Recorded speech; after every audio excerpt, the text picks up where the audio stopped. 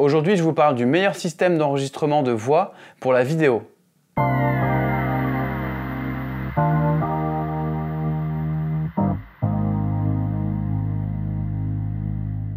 Salut à tous, en vidéo on cherche souvent à avoir une belle image bien nette avec un joli flou d'arrière-plan et une belle lumière, mais on aura beau avoir une image hollywoodienne, si le son n'est pas bon, ça casse tout.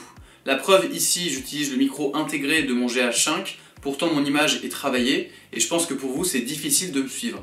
Alors qu'avec un bon micro, même si la qualité d'image est moins bonne comme ici au smartphone, c'est quand même plus agréable à suivre. Parce que les informations qu'on transmet quand on parle en face caméra ou en interview, elles passent essentiellement par l'audio et non pas par l'image. Mais alors comment faire pour avoir un son propre et audible? Déjà, le micro intégré de la caméra ou du smartphone, c'est pas une bonne idée parce que en général, c'est des micros qui sont pas de super qualité. Et même sur un smartphone où le micro est plutôt de bonne qualité, dès qu'on va commencer à s'éloigner un petit peu du téléphone, comme par exemple ici pour faire du face caméra, et eh ben en fait le micro va capter tout l'écho de la pièce, ce qui fait que le son sera pas du tout exploitable. Après, on a l'option du micro canon qu'on peut venir fixer sur la caméra. Ce qui est bien, c'est que bah, déjà le micro sera de bien meilleure qualité que le micro intégré. Mais la contrainte, c'est que si on n'est pas dans l'axe du micro et proche de la caméra, pareil, le son va pas être de bonne qualité parce qu'il va capter tout l'écho de la pièce. Donc la solution finalement c'est le micro-cravate parce qu'on va pouvoir le placer proche de la bouche et même si on se déplace dans le cadre, eh ben, le micro sera toujours à la même distance de notre bouche donc on aura tout le temps la même qualité audio. Et ça tombe bien, Rode a sorti un super kit, le Rode Wireless Go 2 et je vous le présente dans cette vidéo. C'est un système de micro-cravate sans fil avec deux émetteurs et un récepteur. Les boîtiers sont hyper compacts, contrairement à une ancienne version que j'avais qui était le Filmmaker Kit. Et c'est vachement pratique d'avoir deux émetteurs pour un seul récepteur, parce que ça permet par exemple de faire une interview de deux personnes et de récupérer euh, le signal des deux micros sur une seule piste en stéréo avec euh, l'un à gauche et l'autre à droite. Donc par exemple sur une caméra qui a juste une entrée stéréo comme le GH5, eh ben, c'est parfait. Après, bien sûr, ça n'empêche pas d'utiliser un seul micro, comme je fais ici tout seul en face caméra. Au niveau du micro de la captation, il y a trois options possibles. La première, c'est de servir du micro qui est intégré sur le boîtier émetteur. Donc là, le son que vous entendez, c'est le son du micro intégré sur l'émetteur. Donc ça permet de venir clipser comme ça directement euh, l'émetteur euh, sur son col et ensuite de tourner comme ça. Alors c'est une option qui a ses avantages, notamment le fait de pouvoir euh, bah, tourner rapidement. on a juste à clipser l'émetteur et ensuite on peut directement parler. Donc par exemple pour faire du vlog, ça peut être une option intéressante. Au niveau de la qualité du son, vu que le micro est proche de la bouche, bah, ça fait un son qui est plutôt bon, donc euh, à ce niveau-là, il n'y a pas de problème. Par contre, moi, ce qui me dérange, c'est le côté esthétique. Ça fait quand même un, gros machin au niveau du col, donc à moins d'être habillé complètement en noir et euh, de désactiver les LED, parce qu'ici, on a, deux petites LED qu'on peut quand même réduire en intensité pour que ça se voit moins. Mais euh, je trouve que malgré tout, c'est quand même très visible. Alors, on peut aussi le mettre dans l'autre sens comme ça. Donc là, effectivement, c'est un peu moins visible. Pour du vlog, ça peut passer, mais pour de la vidéo pro comme de l'interview, c'est un petit peu limite. Donc personnellement, moi, ça me gêne un peu et je préfère adopter la deuxième option qui est de venir brancher un micro-cravate filaire euh, directement sur l'émetteur parce qu'il y a une prise micro sur l'émetteur. Donc je branche mon micro dessus et ensuite, bah, je viens le passer sous mon pull et le clipser ici au niveau du col. Et ensuite, il n'y a plus qu'à mettre le boîtier dans la poche, vu qu'il est tout petit, c'est quand même vachement pratique et au final le rendu est beaucoup plus discret. Le micro que j'utilise, c'est un micro Rode Lavalier Go qui coûte à peu près une soixantaine d'euros, donc il n'est pas inclus dans le pack de base Wireless Go. Mais je pense que c'est un investissement intéressant parce que la qualité est quand même meilleure que le micro intégré de l'émetteur et en plus ça permet d'avoir quelque chose de plus discret et donc qui fera plus pro.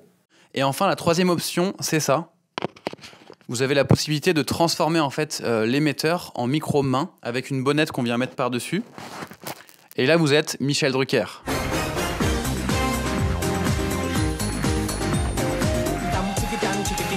C'est vachement intéressant si par exemple on veut aller faire des interviews dans la rue ou alors recevoir quelqu'un sur un canapé, euh, faire un petit peu euh, une table ronde. Ça donne un côté euh, chaleureux, ça crée un objet qui est assez sympa et qui reste sobre avec juste la, marque Rode dessus. Et moi j'aime bien parler comme ça au micro-main donc je vais continuer un petit peu pendant la vidéo. Ce qui est bien avec ce kit également, c'est que chaque boîtier a une batterie intégrée et il se recharge directement en USB-C. C'est quand même bien mieux que des piles rechargeables, surtout que l'USB-C c'est en train de devenir la norme. On a déjà plein de chargeurs à ce format-là. En termes d'autonomie, j'ai pas fait de test précis, mais la marque annonce 7 heures d'autonomie, donc ça permet quand même de faire un tournage sans trop se préoccuper de la batterie, sachant que vous pouvez recharger le récepteur pendant l'utilisation. Donc si par exemple vous faites un tournage en studio avec une prise pas très loin, vous pouvez le mettre en charge comme ça vous vous préoccupez pas de sa batterie. Autre point fort de ce kit, c'est qu'il permet d'enregistrer directement sur les boîtiers émetteurs. C'est-à-dire qu'il y a une batterie interne dans ce boîtier.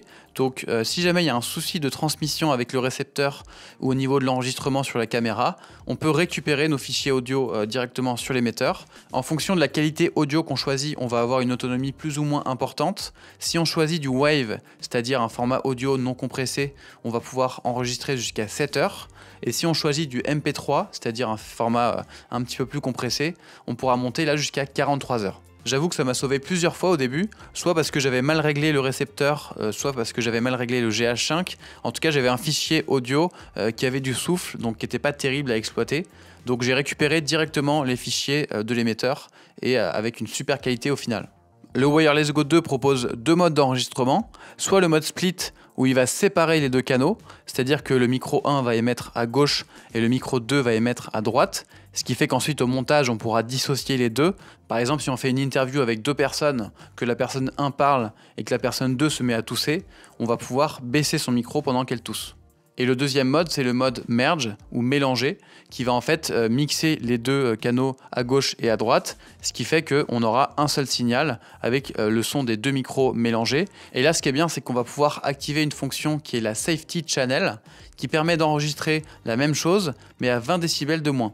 Donc en fait, il va baisser le gain sur cette deuxième piste, ce qui fait que si on a mal réglé le gain et qu'à un moment le son commence à saturer, on pourra récupérer cette deuxième piste de secours et là, ça sera pas saturé.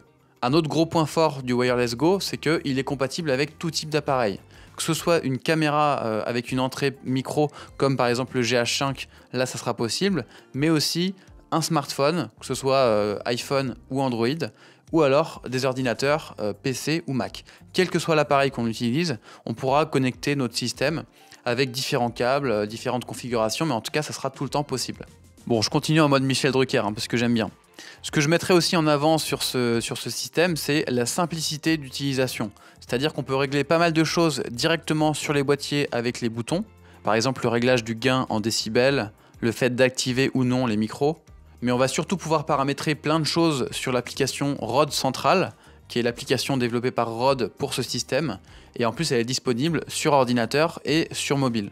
C'est là qu'on va pouvoir choisir la qualité d'enregistrement sur les émetteurs, choisir le type de réglage de gain entre simplifié avec seulement 3 niveaux ou alors plus poussé avec des paliers de 3 décibels entre 0 et moins 30 décibels, le mode d'enregistrement entre split et merge, avec le mode safety channel activé ou non, et c'est là qu'on va pouvoir visualiser les enregistrements, les écouter, naviguer entre les marques et enfin les exporter.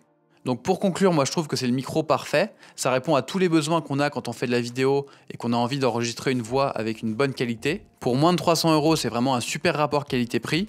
Sachant que si vous rajoutez euh, le micro-cravate Rode Lavalier Go que je vous conseille, euh, si vous en prenez par exemple deux pour en avoir un pour chaque émetteur, bah, du coup ça vous fera une centaine d'euros en plus. Donc à moins de 400 euros, vous aurez vraiment un kit parfait.